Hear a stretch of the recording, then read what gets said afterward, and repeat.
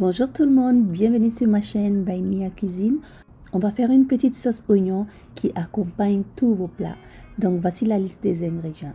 Vous aurez besoin d'oignons.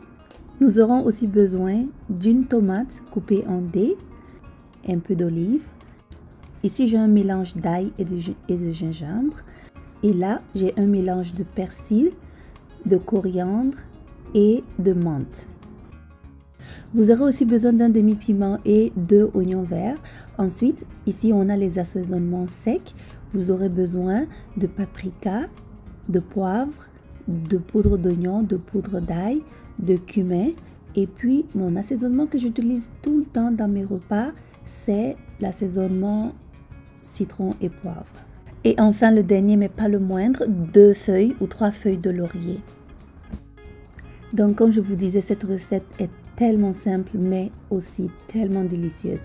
Vous allez mettre un peu d'huile dans une casserole et ajouter les oignons. Laissez-les cuire pendant 5 minutes pour les ramollir et ensuite on va passer aux assaisonnements.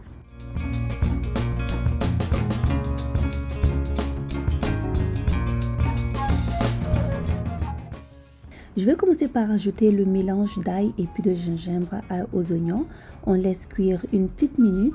Ensuite, on ajoute le mélange de persil, coriandre et puis menthe et l'oignon vert et puis le piment découpé. Je vais mélanger encore un tout petit peu et puis on laisse cuire avant de passer à la prochaine étape.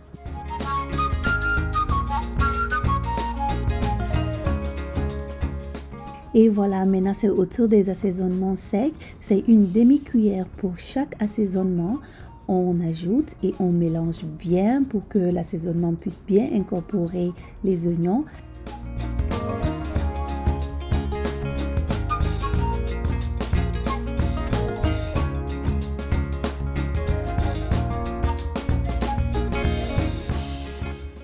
Après les assaisonnements secs, la sauce a déjà une belle couleur.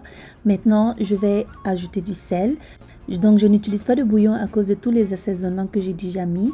Mais euh, si vous sentez que vous avez envie d'utiliser du bouillon, allez-y. Mais là, je vais utiliser une cuillère de sel.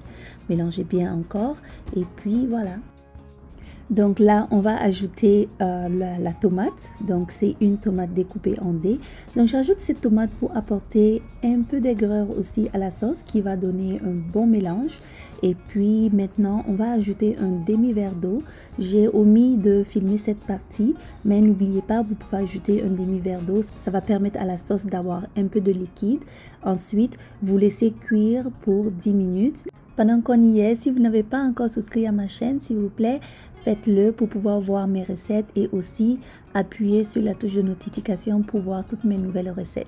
Ouh là là, regardez-moi cette belle couleur. Cette sauce est vraiment une merveille. Maintenant, c'est la dernière étape. Il faut ajouter les olives.